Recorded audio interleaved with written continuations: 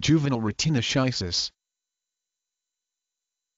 Juvenile retinoschisis, a genetic disease of the eye characterized by retinoschisis splitting of the retina symmetrically involving the macula, the area of the retina responsible for central vision, with onset in the first decade of life, in some cases as early as 3 months of age. Eye examination shows areas of schisis splitting of the nerve fiber layer of the retina in the macula, sometimes giving the impression of a spoke wheel pattern. Schisis of the peripheral retina occurs in half of patients. Visual deterioration often progresses during the first decade or two of life, but visual acuity remains relatively stable after puberty. RS1 is the only gene known to be associated with X-linked juvenile retinoschisis. RS1 is on the X chromosome in BANXP22.2 P22.1. Approximately 95% of patients of Finnish heritage have one of three founder mutations in RS1. The disease is inherited in an X-linked recessive manner. If the mother is a carrier, the chance of her transmitting the disease-causing mutation in each pregnancy is 50%. Males who inherit the mutation will be affected.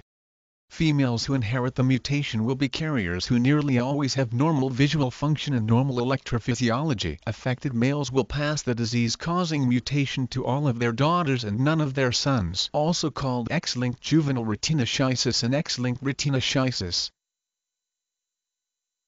J-U V E N I L E R E T I N O S C H I S I S.